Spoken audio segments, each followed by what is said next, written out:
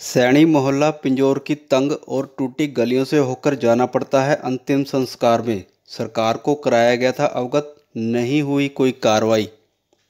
Pinjore welfare association M white house, Pinjore के MD समाजसेवी संतराम शर्मा ने हरियाणा सरकार से मांग करते हुए सोमवार के दोपहर को बताया कि पिंजौर शहर का एकमात्र रामबाग, जो कि सैनी मोहल्ला और बाईपास के किनारे पर है जहाँ पर आए दिन अंतिम संस्कार के लिए जा रहे लोगों के पाँव फिसल जाते हैं और लोगों की मांग है कि यह रास्ता यादविंद्रा गार्डन पिंजौर के सामने सरकारी नर्सरी से दिया जाए, जिससे रास्ता चौड़ा मिलेगा और हर आने जाने वाले लोगों को भी सुविधाएँ मिलेंगी।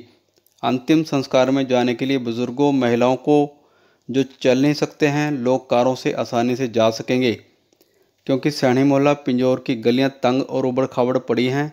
जिस पर बुज़ुर्ग चल कर नहीं जा पाते हैं। इसके अलावा अर्थी को कांधा देकर चलने वाले लोगों की भी दिक्कतें हो रही हैं, क्योंकि कई बार संतुलन बिगड़ने और पाँव फिसलने की कई घटनाएँ रामबाग रोड पर हो चुकी हैं।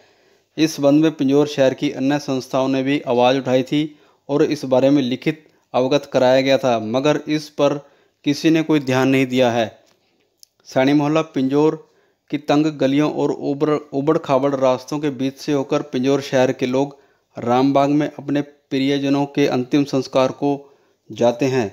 सैनी मोहल्ला पिंजौर नगर परिषद, कालका के एरिया के अधीन है और यहाँ जन स्वास्थ्य विभाग ने भूमिगत सीवरेज की पाइपलाइन बिछाई थी, जिसके बाद सड़क को तोड़े हुए छः महीनों से ऊपर का समय हो चुका है। लेकिन अभी तक पिंजौर से रामबाग में जाने के लिए यादविंद्रा गार्डन के सामने से सरकारी नर्सरी से रास्ता दिलवाने की मांग पिंजौर वेलफेयर एसोसिएशन के प्रधान एवं व्हाइट हाउस के एमडी समाजसेवी संतराम शर्मा ने हरियाणा सरकार से की थी, लेकिन अभी तक इस रोड पर कोई कार्रवाई नहीं हो पाई है।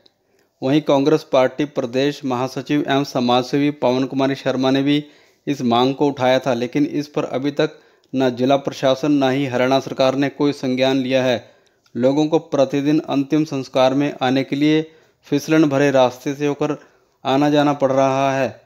पिंजौर वेलफेयर एसोसिएशन के प्रधान एम व्हाइट हाउस पिंजौर के एमडी समाजसेवी संतराम शर्मा, कांग्रेस वरिष्ठ नेत्री एवं समाजसेवी पवन कुमारी शर्मा ने हरियाणा सरकार से मांग कर पिंजौर रामबाग के लिए गार्डन के सामने से रास्ता देने की मांग पर ज़ोर दिया है। मेरे नाम राशि संतराम जी ने बताया है कि सड़क का बहुत बुरा हाल है, वो तो हम देख ही रहे हैं कि यहाँ पटाई हुई हुई है और अगर बरसात में किसी की बॉडी लेके आएँगे तो बुज़ुर्ग भी आते हैं साथ में जवान भी आते हैं। तो प्रॉब्लम तो है काफ़ी। तो इसके बारे में मीडिया से भी मेरी प्रार्थना है सभी मेरे मीडिया भाई यहाँ आए हुए हैं। ये भी हमारे शहर के वासी हैं। इनका भी फ़र्ज़ भी बनता है इनका। इनके पास कलम की पावर है आज। तो ये सरकार को हमारी भारतीय जनता पार्टी को और जो हरियाणा सरकार है उसको चेताएँ कि भी सड़क का हाल कितना माड़ा है, जहाँ सबने जाना है, हम क्यों इसको भूले बैठे हैं?